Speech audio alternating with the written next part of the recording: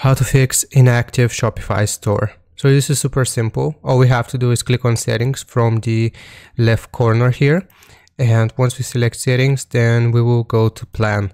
So right here first you have to make sure that you have selected a plan. As you can see i have the basic shopify plan and that was the first step. And if you want to activate or fix your inactive shopify store then we will go to billing as well.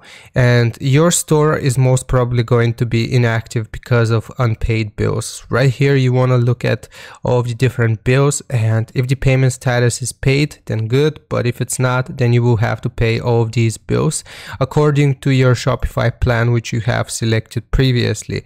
So right here from the billing tab, like I just said, just make sure you pay all of your bills here and all of your billing, and then you will be able to fix your uh, Shopify store and it will become active again. So I hope this was informative. Leave a like and sub, and I'll see you next time.